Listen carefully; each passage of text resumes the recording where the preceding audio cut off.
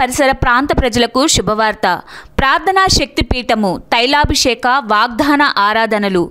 స్థలము మంగళగిరి శాస్త్రీబాం వీధి కొప్పురా కాలనీ సరిగమ హోటల్ దగ్గర మంగళగిరి. ప్రతి శుక్రవారము ఉపవాస ప్రార్థనలు ఉదయం పది గంటలకు ప్రతి బుధవారము స్త్రీల సదస్సు ఉదయం పది గంటలకు. ప్రభు అయిన యేసుక్రీస్తు వారి నామంలో మీ అందరికీ నా శుభములు. ఈరోజు దేవుని యొక్క ప్రశస్తమైన వాగ్దానము కీర్తనల గ్రంథము తొంభై ఒకటో అధ్యాయము పదిహేనవ వచనం. అతడు నాకు మొరపెట్టగా నేను అతనికి ఉత్తరం ఇచ్చేదను. శ్రమలో నేను అతనికి తోడై ఉండేదను. అతన్ని విడిపించి అతన్ని గొప్ప చేసేదను. చిన్న ప్రార్థన చేసుకుందాం. మహోన్నతుడా మహాగరుడా పరిశుద్ధుడా నీకు వందనాలు స్తోత్రాలు. నిజమే మా శ్రమలలో ప్రభా మేము నా తండ్రి ఎంతో దేవాదిగో నాయన భయపడేటటువంటి పరిస్థితులు వాటన్నింటి నుండి నేను తప్పిస్తాను అని అంటున్నారు. మీకు మొరపెట్టినప్పుడు దేవాదిగో వాటన్నింటి నుండి ప్రభా మీరు మమ్మల్ని రక్షించి తప్పించి నా ప్రభా ఇదిగో నీ కృపలో మమ్మల్ని జ్ఞాపకం చేసుకునే దేవుడు అని మరోసారి నిన్ను స్థుతిస్తూ ఘనపరుస్తూ వాక్యమైందు మీ తోడు మాకు అనుగ్రహించమని యేసుక్రీస్తు శ్రేష్టమైన నామంలో వేడుకుంటున్నాం తండ్రి. ఆమెన్. ప్రభు నందు ప్రియమైనటువంటి వారులరా నిజంగా ఒక్కొక్కసారి మనకు అనిపిస్తూ ఉంటుంది దేవుని దగ్గరికి వస్తే శ్రమలు అనేవి అస్సలు ఉండవు అని అని చెప్పి చాలామంది చాలా అనేక రకాలైనటువంటి బోధలు మరి చేస్తూ ఉంటారు. అయితే దేవాతి దేవుడే ఏం చెప్పాడు అని అంటే యోహన్స్ వార్త పదహారు అధ్యాయము ముప్పై మూడో వచనంలో మనం గనక చూస్తే నాయందు మీకు సమాధానము కలుగునట్లు ఈ మాటలు మీతో చెప్పుచున్నాను. లోకంలో మీకు శ్రమ కలుగును అయినను ధైర్యము తెచ్చుకొనుడి. నేను లోకమును జయించి ఉన్నాను అని చెప్పి చెప్పి దేవాతి దేవుడు అంటా ఉన్నాడు. ఆయన శరీరధారిగా ఉన్నటువంటి ఆదినాలలో చెప్పినటువంటి మాట ఏంటంటే లోకంలో మీకు శ్రమ అయితే నేను లోకాన్ని జయించి ఉన్నాను కాబట్టి మీరు ధైర్యం తెచ్చుకొనడి అని ఈ రోజు మీతో దేవుడు స్పష్టంగా మాట్లాడుతున్నాడు ఆయన వాక్యం చేత.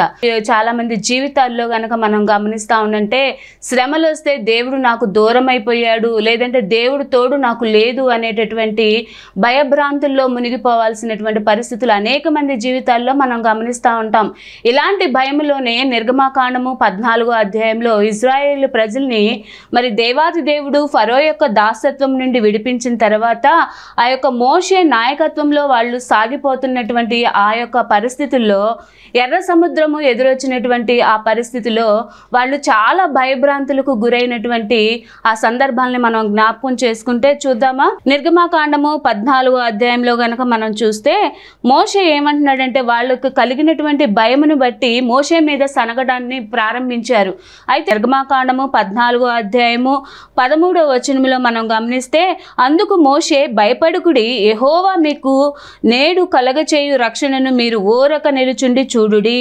మీరు నేడు చూచిన ఐగుప్తీలను ఇక మీదట మరి ఎన్నడూను చూడరు. దేవునికే మహిమ కలుగును గాక. నిజంగా ఈరోజు చాలామంది జీవితాల్లో చూస్తూ ఉండంటే అనేక విధాలైనటువంటి భయాలు అనేక విధాలైనటువంటి ఇంతకుముందు వీడియోస్లో కనుక మనం గమనిస్తే యాకోబు ఏ విధంగా భయపడి ఒంటరిగా మిగిలిపోయినప్పుడు యాకోబు జీవితంలో దేవాతి దేవుడు ఆయన్ని తను తాను పరిచయం చేసుకొని యాకోబుని నిమ్మలపరిచి యాకోబు చేసినటువంటి ఆ ప్రార్థన బలిపీఠము కట్టి ప్రార్థన చేయటం ద్వారా తన జీవితంలో ఒంటరిగా వెళ్ళినటువంటి యాకోబు రెండు పరివారములతో ఏ విధంగా తిరిగి వచ్చాడనేటటువంటి ఆ సందర్భాలన్నీ కూడా మనము ఆది కాండంలో ఇంతకుముందు మనం గమనించాం. ఎవరైనా చూడని వారు ఉంటే కనుక దయచేసి ప్రార్థన టీవీ అనేటటువంటి ఆ యొక్క ఛానల్లో మీకు ఆ వీడియోస్ అన్నీ మీకు అందుబాటులో ఉంటాయి. అయితే ఇక్కడ సందర్భం మనం జ్ఞాపకం చేసుకుంటే ఇజ్రాయేలీలు చాలా భయపడిపోతా ఉన్నారు. దేవుడు పది తెగుళ్ళ నుండి విడిపించి వారిని ఆయా సందర్భాల్లో ఆయా కఠినమైన పరిస్థితుల్లో నుండి వాళ్ళని ఫరో చేతుల నుండి బయటికి తీసుకువచ్చినప్పటికీ వాళ్ళ భయాలనేవి పోలేదండి. అందుకని వాళ్ళు ఏం చేస్తున్నారంటే ఇదిగో నువ్వు మేము అక్కడున్న ఐగుప్తులో ఉన్నా మేము బ్రతికే వాళ్ళమేమో కానీ నువ్వు మమ్మల్ని బయటికి తీసుకొని వచ్చి ఇదిగో మా చావుని నువ్వు చూడాలనుకుంటున్నావా మోషే అని దేవుని సేవకుని మీద ఎంతో మరి ఆ యొక్క నిట్టూర్పులు విడిచేటటువంటి పరిస్థితులు. అయితే దేవుడు ఈరోజు మోషే ద్వారా మరి ఆ రోజుల్లో ఇజ్రాయేల్కి ఇచ్చినటువంటి వాగ్దానం ఈరోజు ఆయన వాక్యము ద్వారా ఆయన సేవకుల ద్వారా ఈరోజు నీ జీవితంలో అనుగ్రహిస్తా ఉన్నాడు. ఓరక ఉండుడి. చాలామంది శ్రమలు వచ్చినప్పుడు పరుగులు తీస్తూ ఉంటారు. ఆ టెన్షన్ పడిపోతూ ఉంటారు. ఎక్కడికో వెళ్ళి మనుషులతో మనం సహాయాన్ని పొందుకోవచ్చని భ్రమ పడతా ఉంటారు. అయితే దేవుడు ఈరోజు చెప్తా ఉన్నాడు నువ్వు ఓరక నిలుచుని ఆయన చేయు అద్భుతమైనటువంటి కార్యములు చూడుడి అని అని చెప్పి ఈరోజు ఈరోజు దేవుడు నీతో స్పష్టంగా మాట్లాడుతా ఉన్నాడు. నరులను నమ్ముకొనుట కంటే యహోవాను ఆశ్రయించుట మేలు. రాజులను నమ్ముకొనుట కంటే యహోవాను ఆశ్రయించుట మేలు అని దేవాతి దేవుడు నూట పద్దెనిమిదవ కీర్తనలో స్పష్టంగా మనకి తెలియచేస్తా ఉన్నాడు.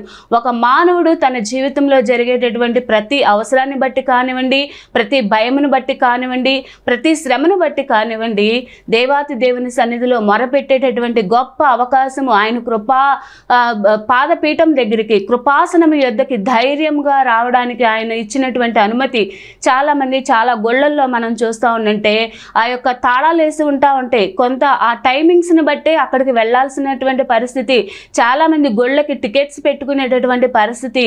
అయితే ఇక్కడ మన దేవాతి దేవుడు నిరంతరము దినమెల్లా మన కొరకు చేతులు చాస్తూ ఎవరైతే ఆయన్ని వేడుకుంటారో వారందరినీ కూడా రక్షించడానికి ఆయన సమర్థుడుగా ఈరోజు మనము చూస్తూ ఉంటున్నాము.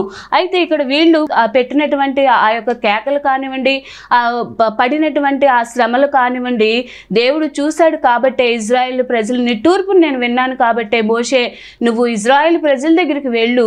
నేను వాళ్ళని పెట్టేటటువంటి ఆ నిట్టూర్పులన్నింటినీ నేను చూశాను నేను విన్నాను.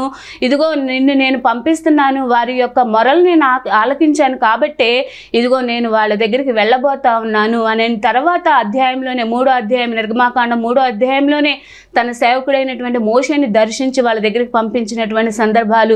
చక్కగా చదువుకోండి మీరు. ప్రతి దినము కూడా బైబిల్ గ్రంథాన్ని పఠించడం వల్ల మనకి అనేకమైన పరిస్థితుల్లో ఏ విధంగా ధైర్యంగా ఉండాలి ఏ విధంగా దేవుని మీద ఆధారపడాలి ఏ విధంగా మరి ప్రతి పరిస్థితికి చాలిన దేవుడు అని ఆయన దగ్గర మొరపెట్టాలి. అరుచు పిల్ల కాకులకు ఆయన ఆశ్రయం అనుగ్రహించే దేవుడు నీకు నాకు అనుగ్రహించరంటారు. మనమే అనేకమైనటువంటి రకరకాల వ్యాపకాలు రకరకాల ఆ యొక్క పరుగులు ఉరకల జీవితాలతో దేవుని దగ్గర మొరపెట్టడము దేవుని సన్నిధిలో అర్థించడం మానేసేసి మానవుల వైపు చూస్తూ ఉన్నాం మానవుడు మన సమస్యలకు పరిష్కారం అయితే కానే కాదు. వీళ్ళు ఈ విధంగా భయపడ్డారు. దేవాది దేవుడు మోషే ద్వారా ఓరుకుండు అని చెప్పించాడు. ఆ తర్వాత మనం అదే నిర్గమాకాండము పద్నాలుగు అధ్యాయము ఇరవై ఒకటో వచనం కనుక మనం గమనిస్తే మోషే సముద్రం వైపు తన చెయ్యి చాపగా ఎహోవా ఆ రాత్రి అంతయు బలమైన తూర్పు గాలి చేత సముద్రమును తొలగించి దానిని ఆరిన నేలగా చేసెను. చూసారండి నీళ్ళు విభజింపబడగా ఇజ్రాయేలీలు సముద్రము మధ్యను నేల మీద నడిచిపోయిరి. ఆ నీళ్ళు వారి కుడి ఎడమ ప్రక్కలకు వారికి గోడవలే నుండెను. నీకు ఒకవేళ ఒక గోడవలే ఒక కవచం వలె ఉంటాయేమో. అందుకనే చాలామంది భక్తులండి ఈ యొక్క వాక్యం చెప్తున్నటువంటి ఈ ఈ యొక్క సందర్భాల్లో కనుక ఇవన్నీ గమనిస్తూ ఉండంటే ఎంత ధైర్యంగా వాళ్ళు జీవిస్తూ ఉన్నారో. నాకు దానియల్ జీవితంలో సంభవించినటువంటి ఆ యొక్క సింహాల బోను అదంతా పరిశీలన ధ్యానం చేస్తూ ఉండంటే దేవుని సన్నిధిలో ఒక పెద్ద గదిలో సింహాలు ఒక అరడజనో డజనో మరి నాకు తెలియదు కానీ అక్కడ ఆ యొక్క మూలన గాండ్రింపులు ఆ యొక్క ఆ విధమైనటువంటి అరుపులు సింహపు హోంకారింపులు ఇవన్నీ వింటూనే ఆ రాత్రంతా కూడా దానియేలు ఆ గుహలోనే గడిపినటువంటి పరిస్థితి. అయితే సింహాలకి ఏమన్నా దానియేలు భయపడి లేదా వాటితో ఫైట్ చేశాడని అంటే అస్సలు కానే కాదు.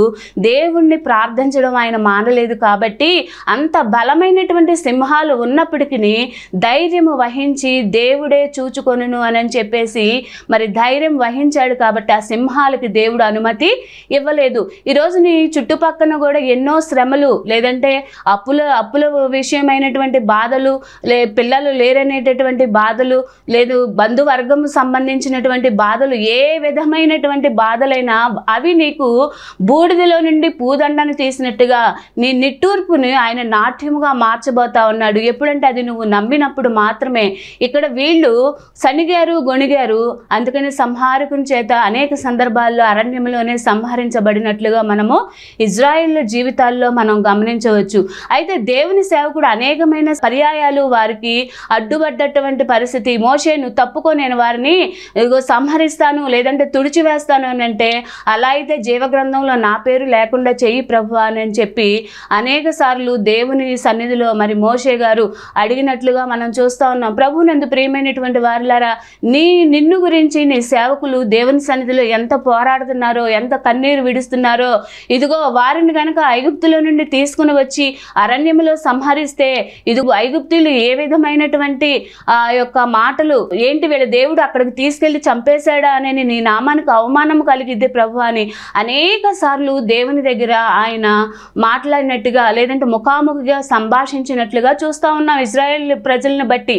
మరి నీ నిమిత్తము నీ సేవకులైనటువంటి వారు ఎన్నిసార్లు వాళ్ళు కన్నీరు విడుస్తున్నారో నీకు తెలుసా? ఎన్నిసార్లు నీ యొక్క పరిస్థితిని బట్టి వాళ్ళు మదన పడుతున్నారో? నీకున్నటువంటి శ్రమలను బట్టి వాళ్ళు ఉపవాసం చేత ప్రార్థన చేస్తూ ఉన్నారో. సేవకుల్ని ప్రేమించడం సేవకుల్ని గౌరవించడం ప్రతి ఒక్క విశ్వాసి కూడా నేర్చుకోవాలి. ఈ రోజుల్లో చూస్తూ ఉండంటే సేవకులంటే చాలా చిన్న చూపు. సేవకులంటే ఏదో బ్రతుకు తెరువు కోసం వచ్చారని చాలామంది అనుకుంటా ఉంటారు. అయితే ఇక్కడ గమనించాల్సినటువంటి విషయము దేవునితో వాళ్ళు మొరపెడతా ఉన్నారు. అయ్యా ఇదిగో ఈ విధంగా ఈ బిడ్డల్ని మీరు సంహరించడానికి వీల్లేదయ్యా. ఎందుకనంటే ఇదిగో వీళ్ళని బట్టి మళ్ళీ నీకు అవమానం వస్తుంది నీ నామానికేనని చెప్పి వాళ్ళు దేవుని యొక్క సన్నిధిలో పోరాడుతూ ఉంటున్నారు మిమ్మల్ని బట్టి. ప్రభునందు ప్రియమైనటువంటి వారిలారా ఇక్కడ దేవాది దేవుని సన్నిధిలో మొరపెట్టినటువంటి మోషే దేవుని సన్నిధిలో పోరాడినటువంటి ఆ మోషే గారు మరి ప్రజల పక్షమును వహించినట్లుగా ప్రజలతో మరి బాధలను అనుభవించడానికి కానివ్వండి నిందలను అనుభవించడానికి కానివ్వండి మోషే మరి తను ఎత్తుకున్నటువంటి కాడిని బట్టి తను భరించడానికి సిద్ధంగా ఉన్నాడు. అందుకనే యోగు గ్రంథము ఇరవై మూడో అధ్యాయము పదో వచనంలో ఏమనుంటుందంటే శోధింపబడిన మీదట నేను సువర్ణముగా మారుతాను. క్రైస్తవుడు శోధనలకి శ్రమలకి లేదు అని అంటే భయాలకి భయభ్రాంతులకి కూడా దేనికి భయపడాల్సినటువంటి పని లేదు. మీరు భయపడకుడి జడియకుడి మీరు దిగులు పడకుడి. అనేక సందర్భాల్లో రెండు వందల యాభై యాభైకి పైగా సార్లు దేవాది దేవుడు బైబిల్ గ్రంథంలో మనం మన కొరకు రాసి పెట్టి ఉంచినటువంటి ఈ వాగ్దానాల్ని మనం ఎప్పుడూ కూడా మరి జ్ఞాపకం చేసుకోవాలి. ఒక తల్లి పొత్తిళ్ళలో ఉన్నటువంటి పసిబిడ్డ ఏ విధంగా ధైర్యంగా ఉంటుందో ప్రతి అవసరాన్ని తల్లి తీరుస్తుంది. ఏ సమయానికి కావలసినటువంటి విషయాలన్నీ నా తల్లి సమకూర్చుకుంటుంది అని కూడా తెలియదు ఆ పిల్లకి పసిపిల్లకి అయితే తల్లి ప్రేమించినటువంటి తల్లి ఎంత సమయాన్ని వెచ్చిస్తుంది ఎంత శ్రమను వెచ్చిస్తుంది ఎన్నిసార్లు నిద్ర కాస్తుంది ఈ ఈ విధంగా దేవాతి దేవుడు తల్లి ఆదరించినట్లుగా మనల్ని ఆదరించడానికి ఆయన సిద్ధముగా ఉన్నాడు. కాబట్టి శ్రమలలో భయపడాల్సిన అవసరం లేదు. శ్రమలు వచ్చినాయా నీకు? నువ్వేం చేయాలంటే ఆ శ్రమలలో ప్రభు అని నీ శ్రమను బట్టి ఏమి నేర్చుకోవాలి? అందుకని కీర్తనాకారుడు నూట పంతొమ్మిదవ కీర్తనలో కూడా మనం గమనిస్తే ఏడో వచనంలో గనక మనం గమనిస్తే ఇదిగో నీ కట్టడలను నేను విడిచిపోకున్నట్లుగా శ్రమ పొంది ఉండుట నాకు మేలాయను అనని ఆయా సందర్భాలలో వాళ్ళు చెప్పినటువంటి సందర్భాలు మనం జ్ఞాపకం చేసుకోవాలి. శ్రమ వచ్చిందనంటే దేవుడు మనకి ఏదో మేలుని దాచిపెట్టినటువంటి ఆ సందర్భాలు. పిల్లల్ని ఒక ఒకవేళ మనం కసిరామనుకోండి లేదంటే ఒక దెబ్బ వేసామనుకోండి వెంటనే ఆ తల్లి ఎంతో బుజ్జగించి ఎంతో గారవించి బిడ్డల్ని దగ్గరికి తీసుకొని తాయిలాలు పెట్టినట్లుగా మన దేవాతి దేవుడు శ్రమలలో ఒక పక్షి గూడుని కదిలించింది ఏంటంటే ఆ పక్షి ఆ పిల్లల మీద కోపం మీద కాదు కానీ ఆ పిల్లలు అనేకమైనటువంటి ఆహారాన్ని సంపాదించుకునేటటువంటి లక్షణాలు అలవరుచుకోవాలని ఆ తల్లి పక్షి మరి ప్రయత్నించే సందర్భంలో గూడుని కథలు చేస్తూ ఉంటుంది. ఈరోజు నువ్వు మంచి సంపూర్ణమైనటువంటి భక్తి పరుడుగా సంపూర్ణమైనటువంటి సేవకుడుగా లేదంటే సంపూర్ణమైనటువంటి విశ్వాసుగా నువ్వు తీర్చిదిద్దబడాలనంటే ఆయన ఇచ్చేటటువంటి శ్రమలు కూడా మనము ఇక్కడ యో యోబు గారు మరి స్వీకరించారు కాబట్టి ఆ తర్వాత ఆయన ఎంత ఘనపరచబడ్డాడు. ఆ దేశంలోనే అతని వంటి ద ధనికుడు కానీ నీతిపరుడు కానీ మరి లేకుండా అన్ని విషయాల్లో తను కోల్పోయిన సమస్తం విషయంలో దేవాది దేవుడు కృప చూపించాడు. ప్రభువునందు ప్రియమైనటువంటి వారులారా మరి శ్రమలు ఏ శ్రమల్లో మరి నువ్వు ఉన్నావో హాస్పిటలైజ్ అయ్యి ఉన్నావో రోగ శయ్య మీద మరి నువ్వు ఉన్నావో మరి ఏ విధమైనటువంటి శ్రమల మీద నువ్వు ఉన్నావో నాకు తెలియదు కానీ ఈ రోజు దేవుడు నీతోనే స్పష్టంగా మాట్లాడుతా ఉన్నాడు. నువ్వు ఎక్కడైతే నుంచున్నావో అక్కడే ఆయన పాద పీఠము పాద పీఠమే మనకు ఆశ్రయము. నీవే ప్రభువా మాకు దిక్కు. నాకు ఎటూ తోచట్లేదు లేదని హిస్కియా భక్తుడు మరి ఆ సందర్భంలో మీరు బైబిల్ గ్రంథం మొత్తం మీరు పరిశీలన చేసిన ప్రతి మన పితరులు ఇవన్నీ కూడా ఎందుకు రాసి ఉంచారంటే మనకు కూడా ఈ యొక్క సందర్భాలు ఎదురైనప్పుడు ఈ శ్రమలలో గుండా మనం ప్రయాణం చేయవలసి వచ్చినప్పుడు ఏ విధంగా ధైర్యము వహించాలి అనేటటువంటి అనేటటువంటి అంశాన్ని దేవుడు మనకు నేర్పిస్తూ ఉంటున్నాడు. నేర్చుకోవాలి మనము. ఎంతైనా సరే సంపూర్ణమైన భక్తి కలవారమై మనము. ఈ యొక్క లోకానికి ఆశీర్వాదకరముగా వెలుగుకరముగా ఉండడానికి దేవుడు నిన్ను నియమించబోతా ఉన్నాడు రానున్న దినాలలో. మరి దేవాతి దేవుడు మరి చూస్తూ ఉంటే ఇందాక దానియలు గురించి చెప్పాం కదండి. దానియలు ఒక గుహలో ఉన్నప్పుడు ఆ నైట్ అంతా ఉన్నాయి ఆ యొక్క సింహాలు. అయితే దానియేలు ఆ సింహాలతో పోరాడలేదు నువ్వు శ్రమలతో పోరాడాల్సిన పని లేదు. శ్రమలలో దేవుని సంధిలో మోకరించి దేవుని వైపు చూస్తే చాలు. చాలా సింపుల్. కానీ చాలామంది లోకంలో ప్రయాస పడతా ఎక్కడికి వెళ్తే ఏం దొరికిద్దా ఎవరు ఏ కాయిస్తే ఎవరు ఏ ఏమి చేస్తే ఏ సూచక్రియ ద్వారా ఏమండి చాలా మభ్యపడతారండి ఇది. కాయలతో పళ్ళతో వస్తు రూపమైనటువంటి వాటితో నీ సమస్య తీరదు కానీ ఇక్కడ దేవాది దేవుని సన్నిధిలో నిజంగా నువ్వు మోకరించి ప్రార్థన చేసి చూడు నీ సమస్యలు ఏ విధంగా పటాపంచలవుతాయో లేదంటే సమస్యల్లో నుండే శ్రమలలో నుండే అక్కడ సింహాలు ఒక ఐదు ఆరు మరి నిజంగా ఒక సింహాన్ని చూస్తేనే చాలా భయంకరమైనటువంటి పరిస్థితులు.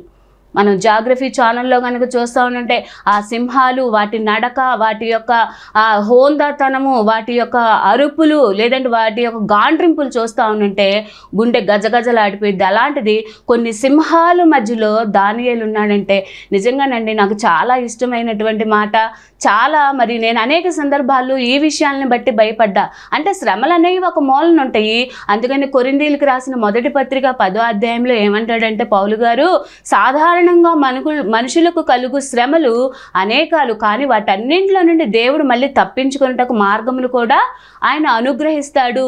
శ్రమలకి భయపడాల్సిన పని లేదు. షడ్రక్ మేషకు అభ్యంతుగోలు కూడా శ్రమలో నుండే అగ్ని గుండంలో నుండే అక్కడ ఒక మాట అంటాడు. ఇదిగో మిస్టర్ నెబ్కగ్నేజర్ మేము మీకు సమాధానము చెప్పవలసినటువంటి పని లేదు. ఇదిగో మా దేవుడు రక్షించగలిగినటువంటి సమర్థుడు ఒకవేళ రక్షించకపోయినా పర్వాలేదు. ఇలా ఉండాలండి. ఒక సవాలుకరమైనటువంటి క్రైస్తవ జీవితము జీవించాలి. మనము నిన్నటి వారమే రేపేమవుతుందో తెలియదు ఉన్నటువంటి చిన్న జీవితంలో ఒక్క జీవితంలో దేవునికి అనుకూలమైనటువంటి భక్తి చేసి మనం ముందుకు వెళ్తే నిజంగానండి ఆ నిత్యత్వంలో ఎప్పటికీ వారసుల్లాగా ఉంటాము. దానికి దీనికి పసిపిల్లలు బెదిరిపోయినట్లుగా వాళ్ళు ఒక్కోసారి చిన్నపిల్లలు న్యూ బోర్న్ బేబీస్ని చూసారు ఎప్పుడన్నా?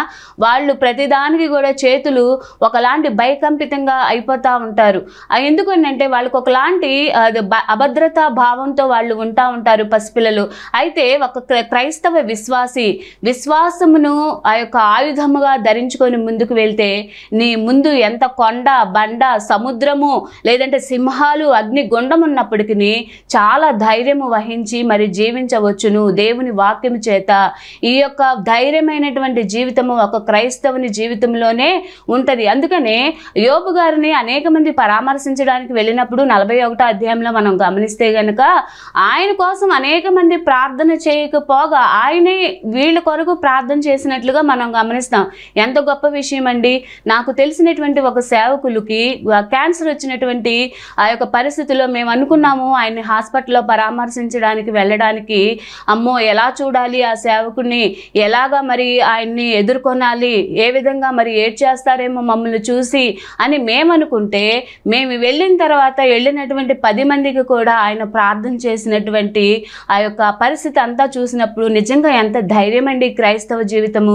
ఎవరికి ఉందండి ఎంత ధైర్యమైనటువంటి జీవితము? అందుకని ధైర్యముతో కృపాసనము యొద్దకి మనం గనక వెళ్ళినట్లయితే కృపాసనం యొద్దకి మనం గనక వెళ్ళినట్లయితే ధైర్యముగా మన యొక్క క్రైస్తవ జీవితాన్ని ముందుకి కొనసాగించవచ్చు. మనకి రోల్ మోడల్ ప్రభు అయిన యేసుక్రీస్తు వారే.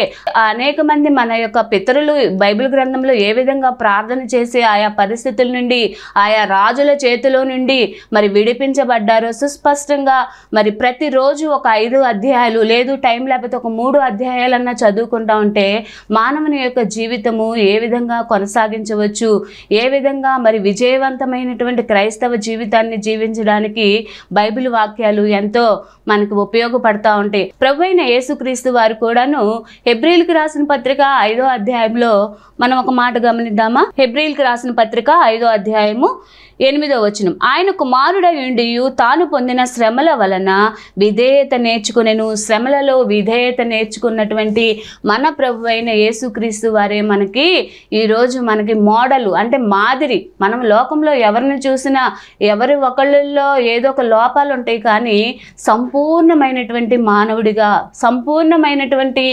దేవుని యొక్క కుమారునిగా ప్రభు అయిన యేసుక్రీస్తు వారి యందు మనం అనేకమైనటువంటి విషయాలు నేర్చుకోవచ్చు. శ్రమలలో విధేయత శ్రమలలో విధేయత. నిజంగా నేను హెచ్చిపోకుండానట్లుగా అని అంటా ఉన్నాడు. ఈ ముళ్ళు నాయందు ఉంచబడినది అని పౌలు గారు కొరిందీలకు రాసిన పత్రికలో అంటా ఉన్నారు. నిజంగా ఒక్కొక్క సందర్భాలు ఆ యొక్క పరిస్థితులతో మనం లొంగం దేవునికి. నా జీవితంలో అయితే నేను చెప్తాను ఈ విధమైనటువంటి కొన్ని నేను పడినటువంటి ఆ యొక్క పరిస్థితులు నా జీవితంలో లేకపోతే నిజంగా దేవునికి ఆ విధేయత చూపించలేనటువంటి పరిస్థితి. దేవాతి దేవుడు అనేక సందర్భాలు హెల్త్ మీద మరి ఆ యొక్క చూపించినటువంటి ఆ కఠిన పరిస్థితుల్లో నుండి నేను వెళ్తూ ఉంటున్నప్పుడు విధేయత నేర్చుకున్నాను ప్రభా. ఇదిగో ఈ చిన్న జీవితం ప్రభా. ఇదిగో నన్ను బ్రతికిస్తే నీ సాక్షిగా ఉంటాను. నన్ను బ్రతుకుట క్రీస్తే చావైతే నాకు లాభమే అనేటటువంటి పరిస్థితుల్లో నుండి దేవాతి దేవుడు మరి ఈ రోజు మీ ముందు ఒక సేవకురాలుగా నిలవబెట్టినటువంటి పరిస్థితులు. చాలామంది మరి నిజంగానే ఆయా పరిస్థితులను బట్టి పరుగులు ఉరకలు తీస్తూ ఉంటారు. ఇలాంటి జీవితంలో నుండి వచ్చిన వారే అందరూ. కానీ దేవాది దేవుని సన్నిధిలో స్టేబుల్గా ఒక స్థిరమైనటువంటి హృదయం కలిగి షడ్రక్ మేషక అభెజ్ఞగోలు జీవించారు కాబట్టి షడ్రక్ మేషక అభెజ్ఞగోలు అగ్నిగుండంలో నుండే వెళ్తా ఉన్నారు. అయితే అగ్నిగుండము వాళ్ళని ఏమీ చేయలేదు. అక్కడ ఒక మాట ఉంటుంది. ఈ మాటలను బట్టి ధైర్యపడదామండి మనం కూడాను. ఏంటంటే వెంట్రుక వాసన కూడా వాళ్ళకి రాలేదు. కాలినటువంటి సందర్భాలు అక్కడ లేనే లేవు. ఎవరు రక్షించారు? ఎంత అగ్నిగుండం కదా? ఏడంతలు అధికము చేసినటువంటి అగ్నిగుండంలో ఎలా ఉంటుందండి పరిస్థితి? దూరం నుండి వేసిన వాళ్ళు మసైపోయారంట. అందులో తిరిగే వాళ్ళు మాత్రం దేవుని యొక్క కృప దేవుని యొక్క నిత్య జీవం అలా ఉంటుందండి. ఆ పొద కాలిపోయింది కానీ బూడిద కాలేదు. పొద కాలతుంది కానీ అది తగలబడిపోలేదు. నీ జీవితంలో నిజమే ఇక అయిపోయింది. ఇదే లాస్ట్ ఇక ఇది ఇది సమస్య నుండి నేను గట్టు ఎక్కలేనని నువ్వు అనుకుంటున్నావేమో కానీ ఈరోజు దేవుడు నీతోనే స్పష్టంగా మాట్లాడుతున్నాడు. ఏ శ్రమలో ఉన్నావో ఏ బాధలో ఉన్నావో ఏ కృంగుబాటులో ఉన్నావో చాలా మరి ఈ పరిస్థితులు చూస్తూ ఉంటున్నప్పుడు చాలా బాధాకరంగా ఉంటా ఉంటాయి లోకంలో కుటుంబ పరిస్థితులు ఆ బంధువుల మధ్యలో జరిగేటటువంటి పరిస్థితులు అనేక మంది మరి ఆ యొక్క తెలివి లేకోకుండా అప్పులు చేసేటటువంటి పరిస్థితుల్లో కురింగిపోతారు లోకస్తులు ఏం చేస్తారు? ఇదిగో నేను తీర్చలేను అని చెప్పేసి ఒక డబ్బా పెట్టుకుంటారు. నన్ను క్షమించండి అని. క్రైస్తవులు అలా కాదు. ప్రతి దానిలో కూడా వాళ్ళు ఆ యొక్క మాదిరిగా ఉండాలి. ఇదిగో నువ్వు ఏమి చేసినా ఇల్లు కట్టినా వ్యాపారం చేసినా తగులుబడి చూచుకొనవలను అని లోకాసు వార్తలో ఉంది. అనేక సందర్భాలలో మరి దేవాది దేవుడు స్పష్టంగా రాసి పెట్టుంచాడు. కుటుంబ జీవితంలో ఆ ఫైనాన్షియల్ విషయాలు ఏ విధంగా మేనేజ్ చేయాలనేటటువంటి విషయాల్లో ప్రతీది సుస్పష్టంగా రాసి దేవాది దేవుడు మనకు ఉంచాడు చక్క చక్కని లేఖనాలు. ఈ చదువుకుంటే జీవితాలు ధన్యమైపోతాయండి. ఎంత రోగ శయ్య మీద ఉన్నప్పటికీ ఎంత ధైర్యం వస్తుందో తెలుసా?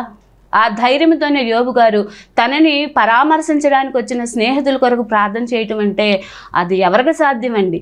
అది దేవుని యొక్క బిడ్డలకు మాత్రమే సాధ్యము. మండుచున్న అగ్నిగుండములో అంత ధైర్యం వహించడం ఎవరికి సాధ్యమంటే దేవుని యొక్క బిడ్డలకు మాత్రమే సాధ్యము. ఆ సింహాల బోన్లో మరి తిరుగుతూ మ- ఉన్నటువంటి ఆ సింహాలు చుట్టూతో తిరుగుతూ ఉన్న సందర్భాల్లో ధైర్యంగా ఉండడం ఎవరికి సాధ్యమనంటే ప్రార్థన చేయుచున్నటువంటి దానియేలుకే సాధ్యము. ఈరోజు నువ్వు ఏ పరిస్థితిలో ఉన్నావో నాకు తెలియదు ఎక్కడి నుండి మాటలు వింటున్నావో నాకు తెలియదు అయితే భయపడుతూ వింటున్నావేమో కూడా నాకు తెలియదు అయితే దేవుడు ఈరోజు నీతోనే స్పష్టంగా ఈ వాక్యాలు ఒక్కళ్ళ జీవితంలోనన్నా మేలు చేస్తే ఎంతో మరి బాగుంటుంది అనేటటువంటి ఉద్దేశంతో ఎంతో భారభరితమైనటువంటి ఈ పరిచయను మేము కొనసాగించడానికి శక్తి చేత బలము చేత కాదు కానీ ఆయన ఆత్మ చేతనే మేము ఈ కార్యక్రమాల్ని మొదలుపెట్టాం. అనేక మంది కుటుంబాలలో మరి సమాధానం పొందుకునేటట్లుగా అనేక మంది కుటుంబాలలో వాళ్ళ యొక్క ఆశీర్వాదాలు నిండారుగా అనుభవించినట్లుగా మేము ఈ కార్యక్రమాలన్నింటినీ మేము ముందుకు తీసుకొని వస్తున్నాం. ప్రభునందు ప్రియమైనటువంటి వారులారా దయతో జ్ఞాపకం చేసుకోండి. ప్రతి ఒక్కరూ ప్రార్థనాపూర్వకంగా ఉండండి. ప్రార్థన చేసినటువంటి వారు ఆయా సందర్భాలలో మరి ఇదిగో నేను శ్రమలలో దీనుడనైతిని ఒక శిల్పము చెక్కాలేనంటే ఆ శిల్పము ఒకవేళ ముక్కుని ఇంతలావు చెక్కాడు అనుకోండి అది ఎంతో ఇంతలావు ముక్కుగా ఉంటుంది. దాన్ని ఎంత షార్ప్ చేసి ఆ ఆ- యొక్క సుత్తితో దెబ్బలు పడతా ఉండంటే ఆ ముక్కు అనేది ఒక లెవెల్లోకి వస్తుంది. అప్పుడే ఆ శిల్పము అందంగా ఉంటుంది. చాలా అందమైన శిల్పాలు మనం చూస్తూ ఉంటాం. ఉట్టిగే రాలే ఆ శిల్పాలు. ఎన్ని సుత్తి దెబ్బలు పడితేనో అది అంత అందమైనటువంటి శిల్పంగా ఉందో శిల్పకారుని చేతిలో శిల్పి చేతిలో మనము శిల్పి చేతిలో శిలగా గనక మనం ఉంటే ఆ శిలలో ఎంత అద్భుతమైన కళ ఉట్టిపడిద్దండి. ఆ శిల్పి ఏ విధంగా ఆ యొక్క షేప్ని అది అది చెక్కుతా ఉండంటే ఆ యొక్క శిల అంత అందంగా కనబడతా ఉంటుంది. చాలా మనం చూస్తూ ఉంటాం. కొన్ని శిలలు ఎంత చూడముచ్చటగా ఉంటాయో నీ జీవితం కూడా ఫుల్ఫిల్ సంపూర్ణమైనదిగా అనేక మందికి ఆశీర్వాదకరముగా నువ్వు అనేక మందిని దేవునిలోనికి నడిపించుబడురాలుగా మరి నువ్వు ఉండాలి అని అంటే నువ్వు ఫుల్ఫిల్గా ముందుండాలి. ఒక లెక్చరర్ పాఠం చెప్తున్నాడంటే ఆయన ప్రొఫెసర్ లేదా పిహెచ్డి చేసి ఉండాలి ఆ సబ్జెక్ట్లో అప్పుడే ఇంకా స్టూడెంట్స్కి చెప్పగలడు. ఆ విధంగానే నీ జీవితంలో ఒకవేళ శ్రమలు నిందలు అవమానాలు ఏమొచ్చినా సరే నిన్ను ఒక సంపూర్ణమైన శిలగా ఆయన చేస్తూ ఉన్నాడు కాబట్టి నువ్వేం భయపడాల్సిన పని లేదు. దేవుని వైపు చూస్తూ మన సాక్షి సమూహం ఎంతో ఉంది. హెబ్రిల్కి రాసిన పత్రిక పన్నెండో అధ్యాయంలో. ధైర్యంతో మనము వాళ్ళందరినీ చూస్తూ ముందుకి వెళ్ళాల్సినటువంటి పరిస్థితి. ఈరోజు నీలో అది ఆ విధమైనటువంటి ధైర్యము ఆ విధమైనటువంటి నిండార మెండార కృపలు దేవాది దేవుడు నింపినట్లుగా చిన్న ప్రార్థన మహోన్నతుడా మహాగణుడా పరిశుద్ధుడా నీకు వందనాలు. శ్రమలలో విధేయత శ్రమలలో దేవాదిగోనైన సంపూర్ణత శ్రమలలో ప్రభ ఎన్నో పాఠాలు నేర్చుకున్నటువంటి మా పితరుల్ని మా ముందు ఉంచారు. ప్రతి శ్రమను ప్రార్థన ద్వారా ఎదుర్కొనగలిగినటువంటి శక్తిని బలమును మా ప్రియులైనటువంటి వారు ఈ యొక్క కార్యక్రమం చూస్తున్నటువంటి వారికి సంపూర్ణంగా మీరు కుమ్మరించమని నీ హస్తము వాళ్ళకు తోడుగా ఉంచమని. యేసుక్రీస్తు శ్రేష్టమైన నామంలో ప్రార్థించి వేడుకుంటున్నాం తండ్రి. ఆ మెయిన్ వందనాలు అందరికీ.